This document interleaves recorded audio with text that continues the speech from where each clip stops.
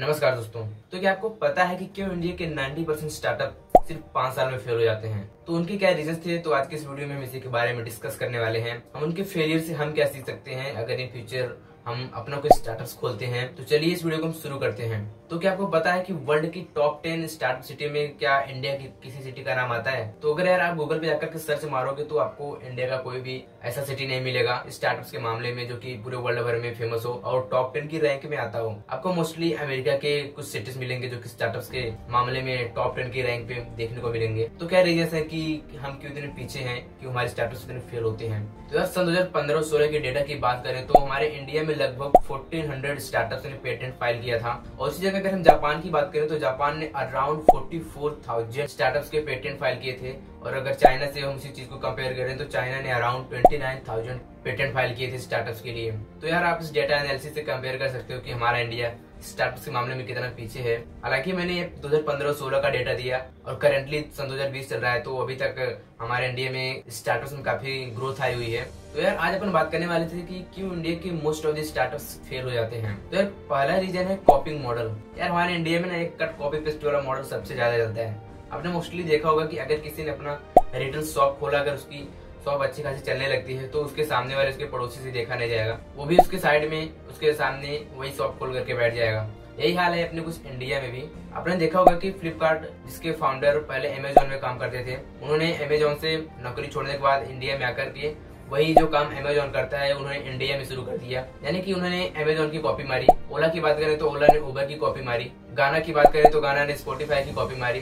उधर air B N आया तो इधर हमारे यहाँ ओयो रूम्स आ गया। और आपने मोस्टली देखा होगा कि इंडिया में कोई भी स्टार्टअप शुरू होता है तो उसके सिमिलर और भी स्टार्टअप उसके साइड में आ जाते हैं। वही सर्विस को भी प्रोवाइड करने लगते हैं मार्केट को। माहौल खराब करने लगते हैं कस्टमर्स को डिवाइड करने लगते हैं। यानी कि अगर मैं बात करूँ तो इंडिया में इनोवेशन की बहुत ही कमी है। दूसरे देशों में जहाँ पे कोई भी स्टार्टअप सक्सेसफुल होता है तो उसी का देख के हमारे इंडिया में वही, हमारे इंडिया में भी लॉन्च किया जाता है।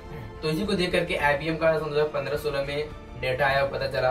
और उन्होंने कहा कि इंडिया में जो 90 परसेंट स्टार्टअप होते हैं, वो इनोवेशन की कमी से फेल हो जाते हैं। तो हमारा जो दूसरा रीजन है कि आप कौन से सेक्टर में अपनी कंपनी खोल रहे हो, आपका स्टार्टअप किस सेक्टर का है? मान लो आपने ई कॉमर्स का अपना एक स्टार्टअप खोला, अपना बिज़नेस खोला, और आपने कहीं से अराउंड फाइव थाउज़ेंड का अपना माल उठाया, और आपका ट्रांसपोर्टेशन कॉस्ट आपके इम्प्लॉय कॉस्ट को आपने जोड़ करके उसे, और अराउंड फिफ्टी टू हंड्रेड आपने उसे बेचने के लिए उसकी ब्रांडिंग करना शुरू कर दिया। और उसी जगह हम मान लो जैसे अमेजोन है अमेजोन से बड़ी कंपनी है आपने जो सामान पाँच हज़ार में खरीदा और आप फिफ्टी टू हंड्रेड का बेच रहे हो, वही सामान फ्लिपकार्ट फोर्टी टू हंड्रेड में बेचेगा।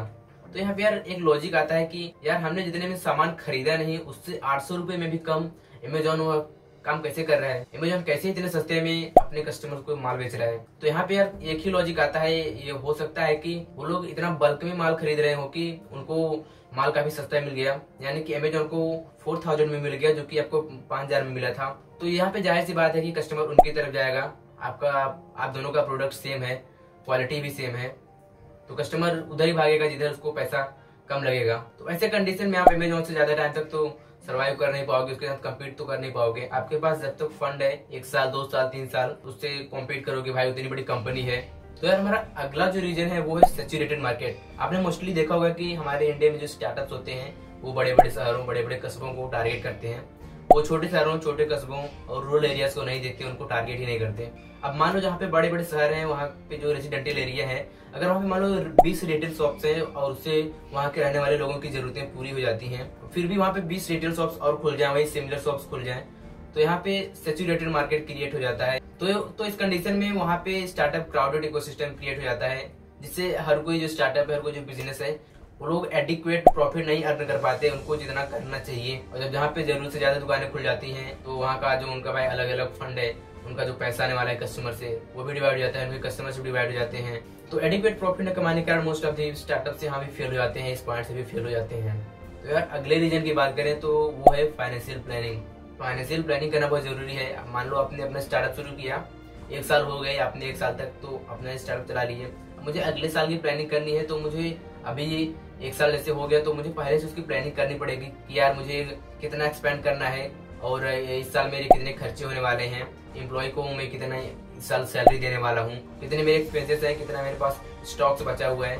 मुझे इन सबकी पूरी फाइनेंशियल प्लानिंग करनी पड़ेगी। अगर यार आप फाइनेंशियल प्लानिंग नहीं करते हो तो आपके खर्चे मनमाने होंगे और आपको पता भी नहीं चलेगा। तो यार मान लो अपना कोई स्टार्टअप शुरू कर रहे हो और आपको बिज़नेस प्लानिंग काफ़ी अच्छे से आती हो और आपको डिसीज़न लेना अच्छे से आता है तो मान लो अभी आपने कोई स्टार्टअप शुरू किया और आपको जिस चीज़ के बारे में, जिस फ़ील्ड के बारे में आपके पास नॉलेज नहीं है तो ऐसे कंडीशन में आप उस बंदे को हायर करो। मान लो आपको डिजिटल मार्केटिंग नहीं आती तो आप ऐसे बंदे को हायर करो जिसको अच्छे से डिजिटल मार्केटिंग आती हो।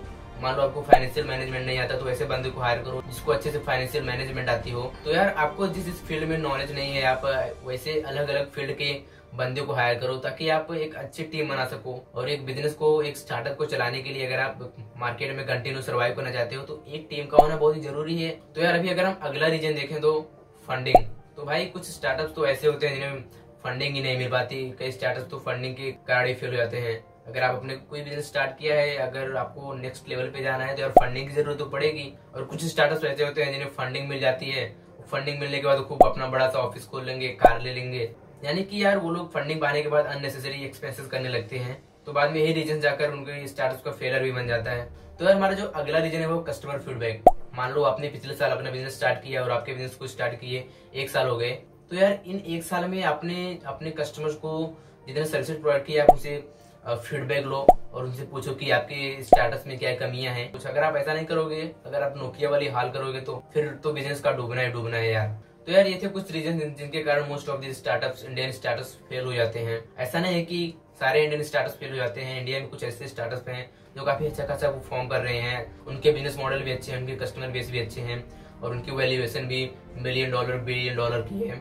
तो यार, फ़िलहाल इस वीडियो को यहीं पे हम खत्म करते हैं। अगर वीडियो अच्छा लगा तो दिल से लाइक करें, हमारे चैनल को ज़रूर सब्सक्राइब करें। और अगर आप इस टाइप वीडियो और पाना चाहते हो तो नीचे कमेंट ज़रूर करिएगा। और ये भी कमेंट करके ज़रूर जाएगा कि वीडियो कैसा था, क्या कमी थी इस वीडियो में, ताकि मैं भी आपके फीडबैक लेकर आने वाले टाइम में अपने वीडियोज़ को अपडेट कर सकूँ अपग्रेड कर सकूँ। तो यार, हर बार की तरह आकर के वीडियो देखने के लिए आपका बहुत धन्यवाद।